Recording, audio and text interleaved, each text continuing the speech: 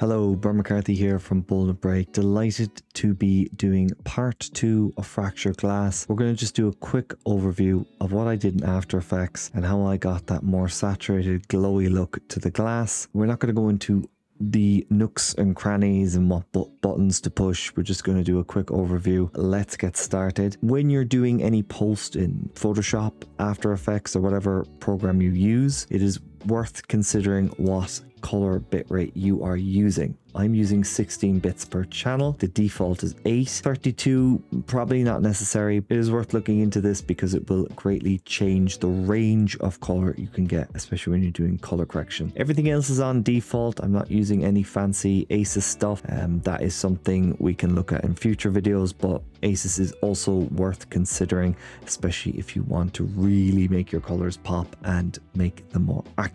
Okay, so we have our fractured glass EXR here. I tried to denoise this with the remove grain in After Effects. If you're using an EXR, it doesn't seem to work. I don't know why. If you know why, please let me know in the comments below. But I don't usually use the remove grains. What I do use is the Neat Video plugin. It's their plugin called Reduce Noise. It is probably the best noise remover on the market. I would highly recommend it. You can see here, and I didn't actually do much with the plugin, but you can get very nerdy and, you know, go into specific values, or you can use a generic profile here, which is the button here. If you don't have this plugin, that's fine. I would say that Photoshop's denoiser is perfectly fine. So is Affinity Photos. So after I got rid of the noise, or got rid of most of the noise here, I then applied Lumetri color and I just messed around and played with these values till I got something that I liked, a little bit frosted. I took down the highlights, I took down the shadows, messed around with the whites and the blacks. I also cooled it a little bit by bringing the temperature down to minus 40 and I upped the saturation and I brought in a faded film effect. So just to have this off black kind of look and brought up the vibrance. And so I kept that adjustment layer on top of these two layers. You might be asking, what is this second layer? This second layer is a kind of a shimmer or shine that I want to create of the glass itself. And what it is happening here is we have a just an After Effects normal glow. We've turned off our reduced noise. We can actually delete that. And we've used Venetian blinds and Venetian blinds just kind of chops up an image it's usually used for like transitions. It's a great way to chop up an image. I did a, a video on Venetian blinds, very underrated tool in After Effects. Um, and I just added a blur here, add more shimmer and shine. I might bring that up to eight.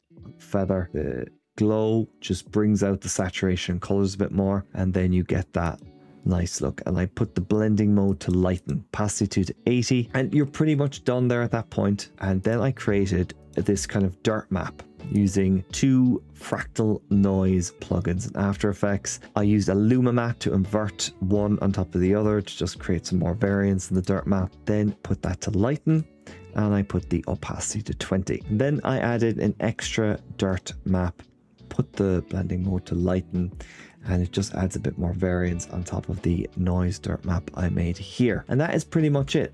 That was what I applied to most of the other renders that we produced. I just copied and pasted this adjustment layer and sometimes I go in and make a couple of maybe tweaks to it depending on the colors that I used or the lighting. So you will see that you can just copy and paste those values that you color corrected in number one and just tweak them accordingly depending on the context of each image that you did or whatever you want to achieve with each one. I also did that kind of uh, Venetian blinds shimmer look with the other images and I got some nice results. So this wasn't your kind of high-end uh, post-production piece. It was just a very quick fire, dirty way of doing post-production. There was no AOVs or kind of any in-depth passes that I did, but it just shows that you can get some nice results really quickly. You don't need to do all the fancy stuff. Although doing all the fancy stuff is something we definitely need to do on this channel. I have been putting an AOV tutorial off for a very long time now, and that will be coming I don't know when time is uh, my biggest enemy.